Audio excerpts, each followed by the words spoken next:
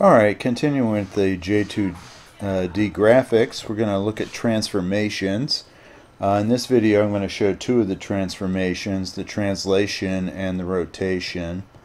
Uh, again, I'm using the zetcode.com uh, tutorial uh, as a template to show these different uh, so in this program I've set up a cubic curve and uh, you can see here that I have the set curve and the draw command. I have two control points.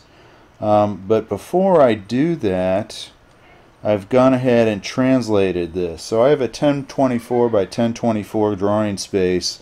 And what this translate command does is it moves the center of the coordinate system the zero zero point to the center of the screen. And then this coordinate system is just like the one we learned in grade school where you have positive and negative coordinates. Of course, in almost all computer graphics, the origin is in the upper left corner. You don't really have negative coordinates. So the very first thing that Translate does is it moves those. So if we come down here and look at the command, um, it's going to go ahead and create a curve that goes from 0, 0 to 0, 400 uh, which now is going to be about from the center of the screen, 0, 0, straight down, uh, not quite to the edge of the screen. So the screen is 512 pixels, and that's the radius, so to speak. And this is going to be a little less. And then the control points are set up, uh, and they're, they're hard-coded here. So negative 350, 150, 350, and 250.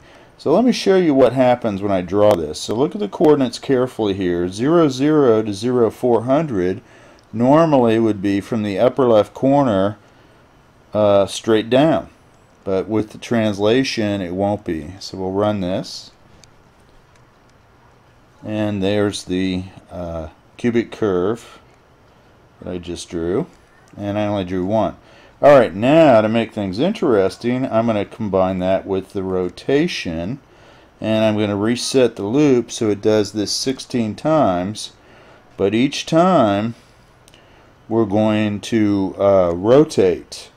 And what that'll do is it'll draw the first one in the same position, then it'll rotate the coordinates around the new origin, and it'll draw the next.